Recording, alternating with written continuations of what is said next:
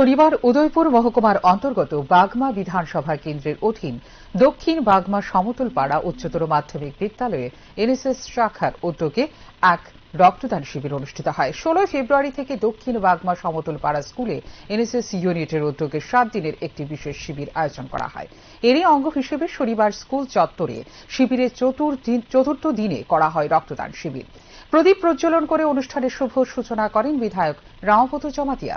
বিধায়ক রামপদ জমাতিয়া বলেন, বিশ্বের বৈজ্ঞানিকরা অনেক কিছু কৃত্রিম উপায়ে তৈরি করতে পারলেও একমাত্র রক্ত কৃত্রিম উপায়ে তৈরি করতে পারেনি। তাই রক্তদানের সকলকে এগিয়ে আসার আহ্বান জানান তিনি। এদিন মোট বত্রিশ জন ছাত্রছাত্রী স্বেচ্ছায় রক্তদান করে।